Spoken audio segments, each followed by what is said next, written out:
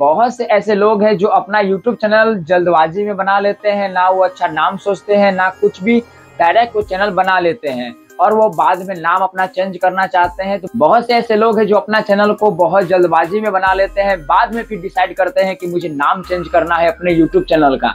और बहुत से लोग गलत तरीके से अपना नाम को चेंज करते हैं चैनल का, जिसके कारण से YouTube उसका वीडियो कभी प्रमोट नहीं करता है, आपका चैनल कभी ग्रो नहीं हो सकता है, आप गलत तरीके से अपना नाम चेंज करते हो तो।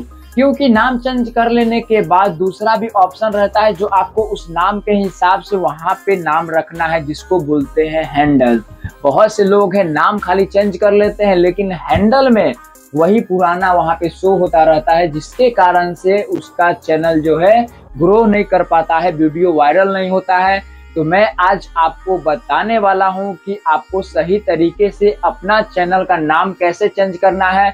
मेरा नाम है दिलीप और स्वागत करता हूँ आप सबको अपने यूट्यूब चैनल में। तो आज का ये वीडियो आप सबके लिए काफ़ी हेल्पफुल होने वाला है, क्योंकि नए नए लोग जो आते हैं यूट्यूब पे, उनको सही तरीका नहीं पता होता है अपना यूट्यूब चैनल का नाम चेंज करने का। तो मैं आज आपको अपना पर्सनल एक्सपीरियंस यहाँ पे दूँगा। पर्सनल तरीका बताऊँगा कि आपको सही तरीका से कैसे अपना नाम को चेंज करना है। तो अगर आप मेरे YouTube चैनल पे पहली बार आए हो तो मेरे चैनल को कर लेना है सब्सक्राइब और आपको वीडियो अच्छा लगे तो मेरे वीडियो को लाइक भी कर लेना। तो चलिए मैं आपको लेकर के चलता हूँ मोबाइल स्क्रीन पे।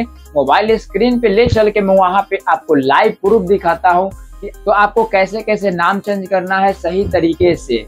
तो चलिए मोबाइल स्क्रीन पे। दोस्तों तो मैं आ गया हूँ मोबाइल स्क्रीन पे। मोबाइल स्क्रीन पे आ जाने के बाद आपको क्या करना है, अपना यूट्यूब को ओपन कर लेना है।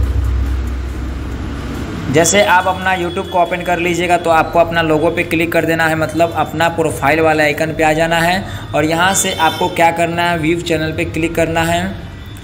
जैसे आप अपना चैनल पे आ जाइएगा तो यहाँ पे आपको साइड में देखने को मिल जाएगा पेंसिल का एक आइकन। तो आपको उस पर क्लिक कर देना है।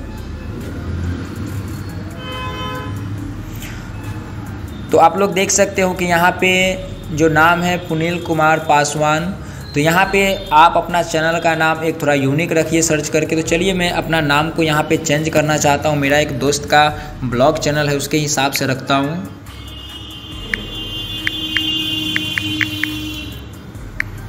हम सफ़र सतनम ब्लॉग्स जैसे आप लोग देख सकते हैं कि हम सफ़र सतनम भाई का नाम है तो सतनम व्लॉग्स उसी के हिसाब से मैं यहाँ पे नाम रख दिया हूँ और इसके बाद आपको सेव कर देना है।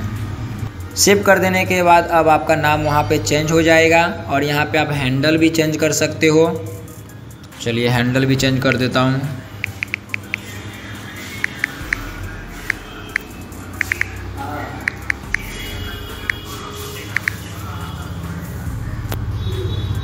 तो आप लोग देख सकते हैं कि मैं यहाँ पे इसका भाई का हैंडल रख दिया हूँ, हम सफ़र सतनम।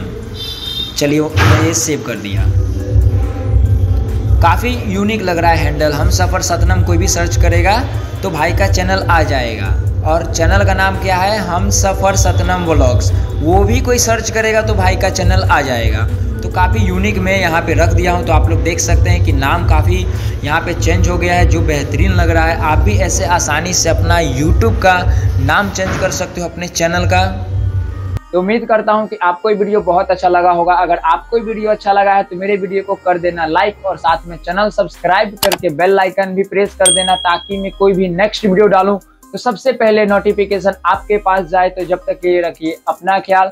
मिलते हैं नेक्स्ट वीडियो के साथ। बाय बाय जय हिंद